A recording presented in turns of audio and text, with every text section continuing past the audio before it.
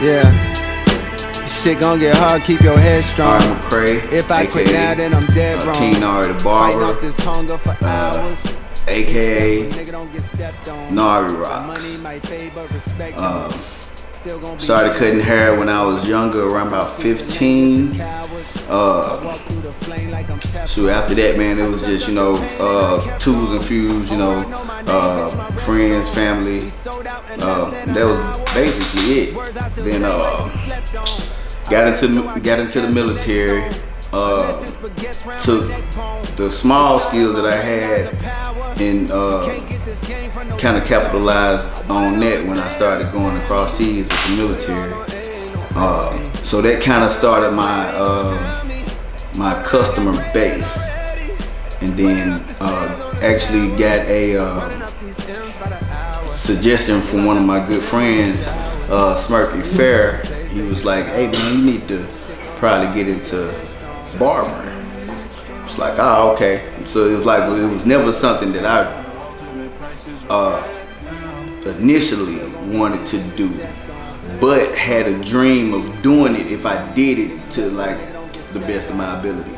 So uh, got into school, didn't go to uh, barbering class right off. I actually went to uh, got my uh, AA in art, um, art education, and then um, after that, the year after, I got into barbering, and then.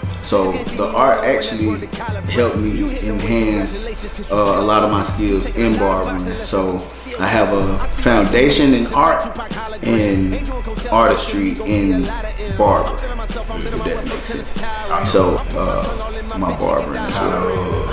Kind of help you have a steady hand on them. Exactly. Yeah. Yeah, yeah. You know what I mean, right? yeah, yeah, yeah, yeah. So, um, actually, so when I actually got into a barbershop after I got all my hours from uh, from the class, I ended up at Runny's uh, International Hair Design, and um, known as Runnies. We call it we call it Runnies because that's the owner of the shop. And um, worked there for like four years.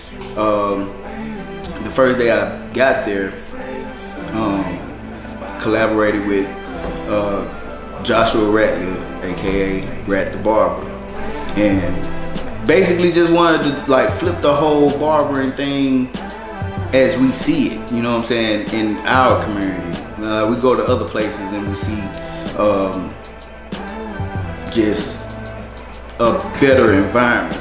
You know what I'm saying? So we just wanted to incorporate that and bring it back to Clarksdale. Uh, then after that, we collaborated with Joy um, and Shanine Wolf, who's uh, who is the uh, loctician. So we have a loctician and a nail tech.